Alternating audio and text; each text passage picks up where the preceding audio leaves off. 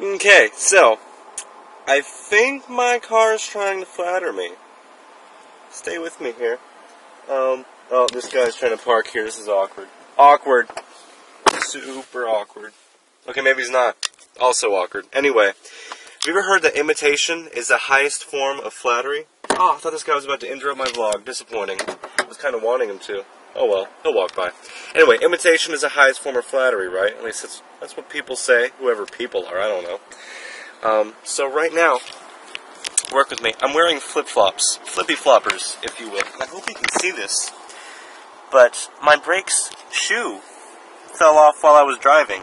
Kind of weirded me out for a second, but I guess it noticed I was, I think I was driving barefoot at the time, so it was like, all up like that.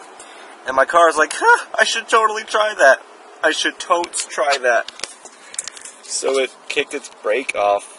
Shoe, its brake shoe. Its brake shoe. It kicked its brake shoe off. Has your car ever tried to kick its brake shoe off?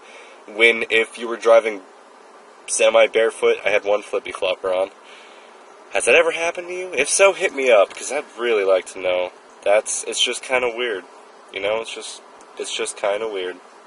Gonna wave with this random guy. Now you didn't see me. Maybe he did see me. This is awkward now. Okay, I'm gonna go. Hope you had a good day, and uh, peace out. Bye.